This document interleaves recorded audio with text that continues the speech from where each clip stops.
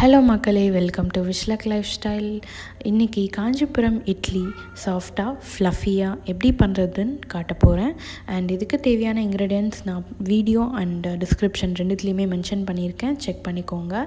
இப்போது உளுந்து ஒரு கப் வெந்தயம் ஒன்றரை டேபிள் ஸ்பூன் எடுத்து நல்லா தண்ணியில் மூணு மணி நேரம் ஊற வச்சுக்கோங்க. அப்புறம் புழுங்கல் அரிசி கப்பி. புழுங்கல் அரிசி வாங்கி அதை வந்து மாவு மிஷினில் எடுத்துகிட்டு போய் அதை வந்து ரவை பதத்துக்கு அரைச்சி எடுத்திருக்கேன். இப்போது புழுங்கல் அரிசி வந்து அந்த கப்பி வந்து மூணு கப் எடுத்துக்கணும். So one is to three ratio உளுந்து ஒரு கப்னால் இது மூணு கப் எடுத்துக்கணும். ஸோ நல்லா ஊறின அப்புறமா அதை வந்து கிரைண்டர் இல்லைன்னா மிக்சியில் இட்லிக்கு எப்படி நம்ம உளுந்து அரைப்போம் ஃப்ளஃபியாக அந்த மாதிரி அரைச்சி எடுத்துக்கோங்க. அரைச்சி எடுத்த அப்புறமா அதில் வந்து உப்பு அப்புறம் இந்த மூணு கப்பு புழுங்கல் அரிசி கப்பியை சேர்த்து வாட்டர் ஆட் பண்ணி நல்லா கலக்கிக்கோங்க.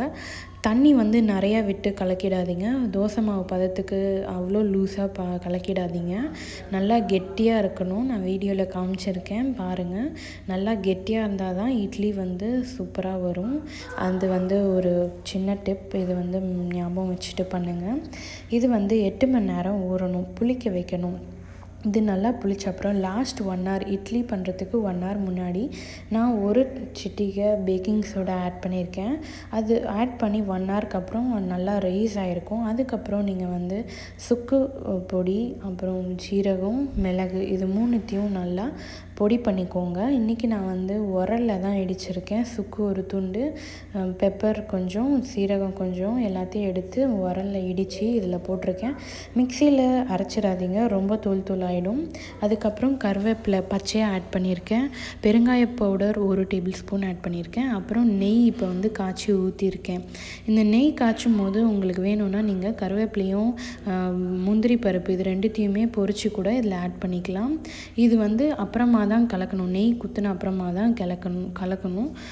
முன்னாடியே அதை வந்து கலக்கிடாதீங்க. அந்த வெந் அந்த சீரகம் பெப்பர் அப்புறம் அந்த சுக்கு இது மூணுத்தையும் போட்டு கருவேப்பிலை பெருங்காய பொடியெலாம் போட்டு நெய் காய்ச்சி கலக்கி நல்லா செட் ஆகட்டும். அதுக்கு மீன் வயல் இன்றைக்கி வந்து நம்ம டம்ளரில் காஞ்சிபுரம் இட்லி பண்ண போகிறோம் ஸோ இது எப்படி பண்ணுறதுன்னு சொல்லிடுறேன்.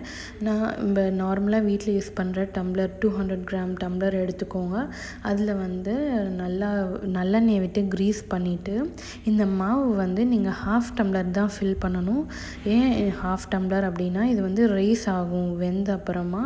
அதனால் ஹாஃப் டம்ளர் ஃபில் பண்ணிங்கன்னா போதும். ஃபுல்லாக ஃபில் பண்ணிங்க அப்படின்னா மேலே வலிஞ்சு வந்து கொட்டிடும். அப்புறம் எடுக்கிறதுக்கும் ரொம்ப கஷ்டமாயிடும். அதனால் ஹாஃப் டம்ளர் ஃபில் பண்ணால் போதும். நான் வீடியோவில் காமிச்சிருக்கேன். அந்த மாதிரியே நீங்களும் ட்ரை பண்ணி பாருங்கள் இது நல்லா எல்லாத்தையும் ஃபில் பண்ணி எடுத்துக்கோங்க. அண்ட் மீல் வயல் நீங்கள் ஒரு குக்கர் எடுத்துக்கோங்க. அதில் தண்ணி ஃபில் பண்ணி அதில் நல்லா ஹீட் பண்ணி ஸ்டார்ட் பண்ணிவிடுங்க நல்லா அந்த தண்ணி கொதிச்ச அப்புறமா இந்த டம்ளரை ஒன்று ஒன்றா அதில் வச்சு செட் பண்ணி மூடி வைக்க போகிறோம் இன்றைக்கி இது ப்ரெஷரில் தான் வேக போகுது. வெயிட் போடக்கூடாது. குக்கரில் வந்து ரப்பர் ரப்பர் மூடியில் வந்து ரப்பர் போட்டு மூட போகிறோம் வீடியோவில் காமிச்சிருக்கேன் பாருங்கள் அழகாக வந்து எல்லாத்தையும் இந்த மாதிரி அடுக்கிக்கோங்க.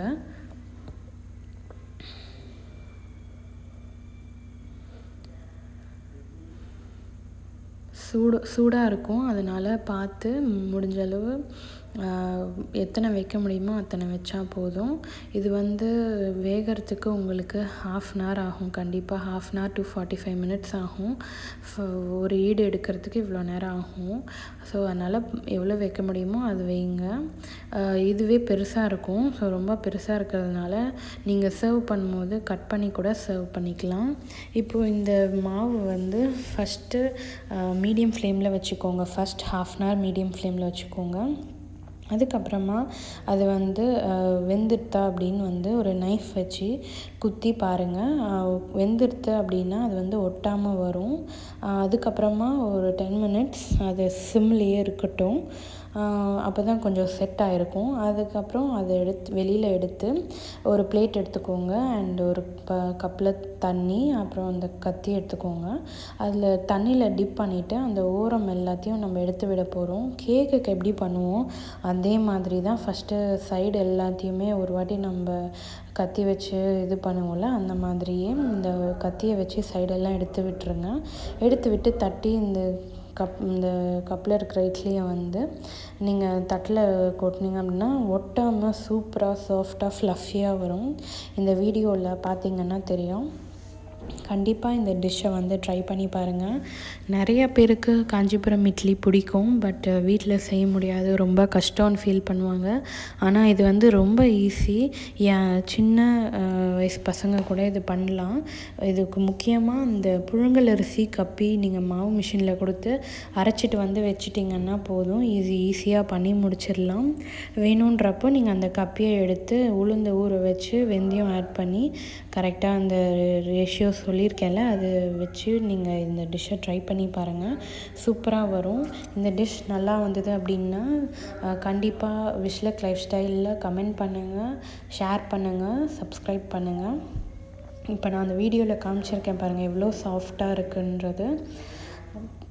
சூப்பராக இருக்கும். அண்ட் இதுக்கு சைட் டிஷ் வந்து மிளகா பொடி மட்டும்தான்.